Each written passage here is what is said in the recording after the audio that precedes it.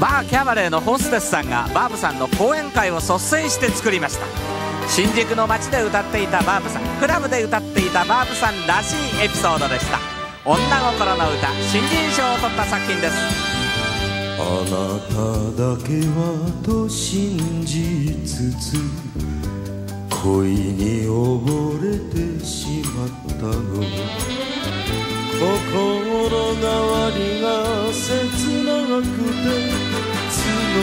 る想いの忍び泣きどうせ私を騙すなら騙し続けて欲しかった。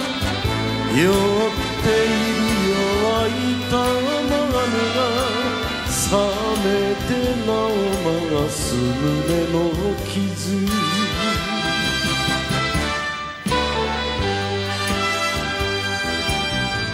女ですもの人並みに夢を見たのがなぜ悪い。